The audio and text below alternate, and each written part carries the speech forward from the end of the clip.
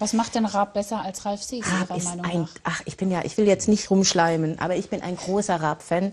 Ich finde, dieser Mann ist grandios. Er ist ein ganz toller Musiker, er ist ein wunderbarer Geschäftsmann. Er hat eine, eine Sendung, wo er seine Künstler präsentieren kann. Wenn er sagt, kauft die Platte von, was weiß ich, kann man sicher sein, dass die eine Woche später auch in den Charts ist. Gucken er hat ganz große, Nicht kritisch. Also ich kann das eigentlich alles nur mit unterschreiben, was, Och, was Gott. Mary sagt. Aber der Punkt ist für mich, dass er das, äh, und zwar viel mehr als alle anderen deutschen Komponisten, Arrangeure oder Texter, die den Grand Prix mit bestritten haben, dass er das Prinzip Eurovision verstanden hat. Und zwar schon seit vielen Jahren. Er weiß genau, dass man mit dem Act, den man da hinschickt, nicht verwechselbar sein darf, dass es auf, auch auf so eine schlichte Performance ankommt.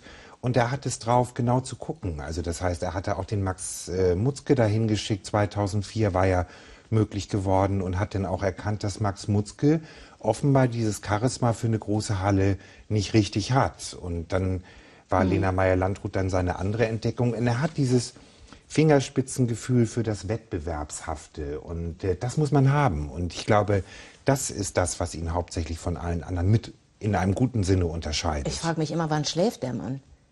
Wann immer ich in irgendeinem Hotelbett liege, mache ich an. Da gibt es eine Wok-Weltmeisterschaft. Dann springen sie Turmspringen mit ganz vielen. Oder ich, äh, der ist grandios. Also hat der Mann ist grandios. Offenbar gut strukturiert.